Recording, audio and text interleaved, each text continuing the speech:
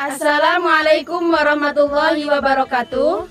Kami mahasiswa Institut Al-Ma'arif Waikanan dengan Prodi Manajemen Pendidikan Islam semester 2 akan mempresentasikan tugas mata kuliah manajemen kelas dengan materi pendekatan dalam manajemen kelas.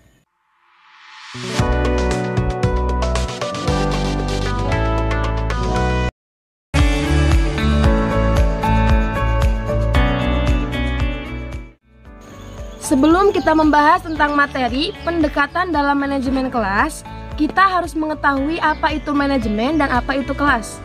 Manajemen adalah proses pengorganisasian, pengaturan, pengelolaan sumber daya manusia sampai dengan pengendalian agar bisa mencapai tujuan dari suatu kegiatan. Manajemen sangat diperlukan untuk kebutuhan pribadi maupun bisnis. Sedangkan pengertian kelas yaitu sekelompok peserta didik dalam belajar di dalam ruangan maupun di luar ruangan yang mendapat pengajaran dari seorang guru. Namun, secara luas disebut masyarakat kecil.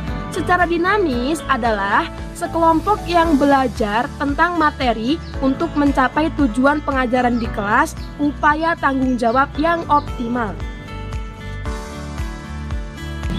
Jika digabungkan, manajemen kelas merupakan kegiatan-kegiatan yang diupayakan oleh seseorang guru untuk menciptakan situasi kelas yang konduktif dalam rangka mencapai tujuan pembelajaran yang maksimal.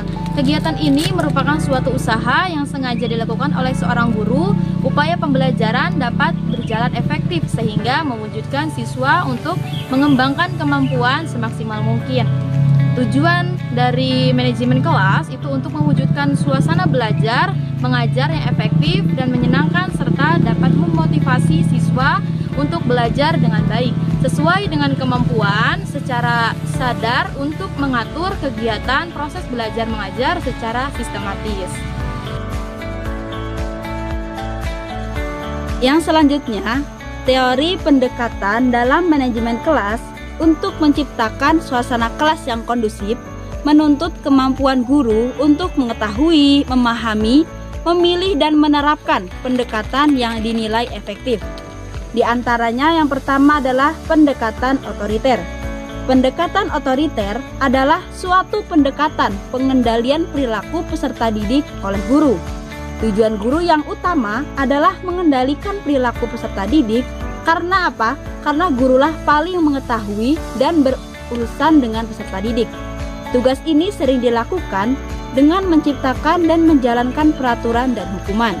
Yang selanjutnya adalah pendekatan intimidasi, yaitu pendekatan yang memandang manajemen sebagai proses pengendalian perilaku peserta didik. Mengenai tentang teori pendekatan manajemen kelas, bagaimana sih cara kita menciptakan suasana ketika kita mengajar supaya eh, murid-murid uh, kita merasa nyaman? Menurut kalian seperti apa? Menurut pendapat saya, ketika kita sedang menyampaikan materi dalam kelas, kita jangan terpaku sama materi.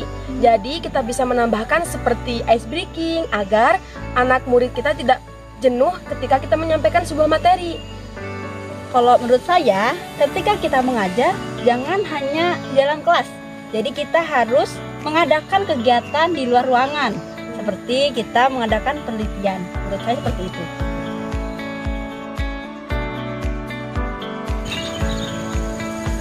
Jadi dapat kita simpulkan presentasi kita kali ini tentang pendekatan dalam manajemen kelas. Agar meningkatkan manajemen yang baik dalam kelas, kita dapat meningkatkan kualitas pembelajaran di kelas karena situasi dan kondisi kelas memungkinkan peserta didik untuk mengembangkan kemampuan semaksimal mungkin.